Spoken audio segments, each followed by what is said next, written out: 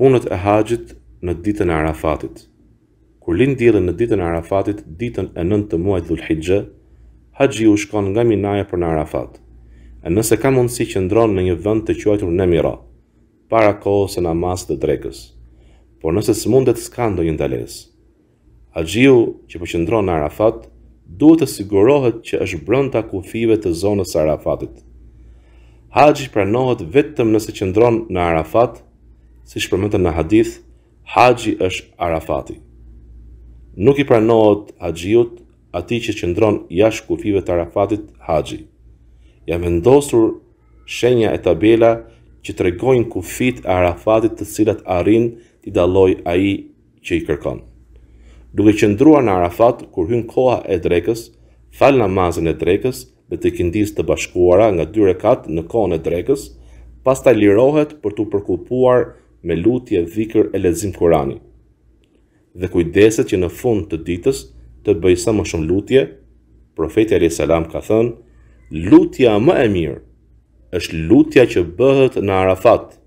dhe lutja më e mirë që kam bërë unë dhe profetët para meje është La ilaha illa Allah wahdahu la sharika lah lahu al-mulk wa lahu al-hamd wa huwa ala kulli shay'in qadir Kush qëndroi në Arafat që në fillim të ditës e ka detyrë të qëndrojë në Arafat deri në perëndim të diellit sepse profeti alayhis salam qëndroi deri në perëndim të diellit në Arafat dhe tha, Kryeni ritet tuaja sipas shembullit tim.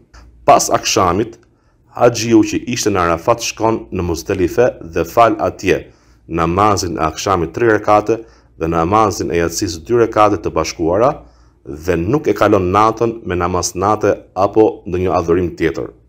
Xhabiri Allahu qoftë i kënaqur me të, transmeton se kur Profeti alayhis salam erdhi në Muzdelife, fali akshamin dhe jacinë me një ezan të vetëm dhe dy ikamete dhe nuk fali ndonjë namaz midis tyre, pastaj u shtri derisa hyri koha e sabahut. Pasi fal namazin e sabahut shkon për në Mesh'aril Haram, Kodër në Muzdelife ku është ndërtuar edhe xhamia në Muzdelife.